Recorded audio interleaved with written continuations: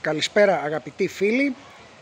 Σε ερωτήσεις, απαντώ σε ερωτήσεις, σε σχόλιά σας σχετικά με δημοσιεύματα για το πρόγραμμα των κορβετών και γενικότερα για την ενίσχυση του πολεμικού ναυτικού με αφορμή και τελευταίες δηλώσεις του Πρωθυπουργού λέω ότι από τις πληροφορίες που έχουμε εμείς πάει για εξυγχρονισμό και των τεσσάρων φρεγατών τύπου ΜΕΚΟ, κλάσης Ήδρα, φυσικά τρεις η μία μπελαρά, οι δύο το 2025, η μία το 2026, όλα αυτά με τα όπλα που θα φέρουν η Μπελαρά, με τα γνωστά ραντάρ, τους γνωστούς πυραύλους, αεράμυνα περιοχής, ισχυρές στον ανθυποβρυχιακό αγώνα και από εκεί και πέρα θα έρθουν και οι κορβέτες. Δεν έχει κάνει πίσω, σύμφωνα με τις δικές μας πληροφορίες, πουθενά η ελληνική κυβέρνηση.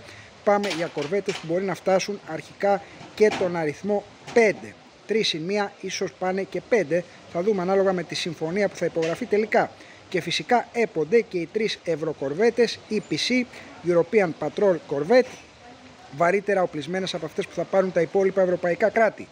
Φαβορή για τις κορβέτες, το ξαναλέω, η Gowind λόγω διαλειτουργικότητας με τις Μπελαρά και για άλλους λόγους γεωπολιτικούς και μη. Πανίσχυρα πλοία, ισχυρός αντιαεροπορικός πόλεμος, ισχυρές και στον ανθυποβρυχιακό αγώνα.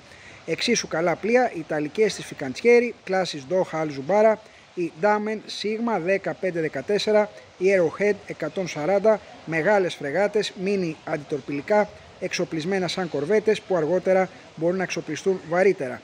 Θεωρώ ότι πάμε για τις κορβέτες 4-5, 3 1 μπελαρά, εξυγχρονισμός ΜΕΚΟ, κάποιες ΕΣ θα παραμείνουν με πρόγραμμα τέλους ζωής, ευρωκορβέτες, να φτάσουμε τις 17-18 κύριες μονάδες επιφανείας για την άμυνα του Αιγαίου μας.